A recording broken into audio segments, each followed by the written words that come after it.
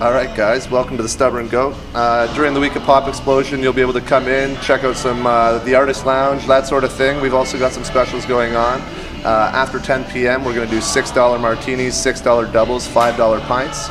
Uh, lots of local craft beer on tap. We'll also have buckets of Miller Lite, the sponsor of Halifax Pop Explosion. Uh, once again, we look forward to seeing you guys all for the Pop Explosion, and make sure you check out your favorite shows, favorite bands here at the Stubborn Goat. Thanks.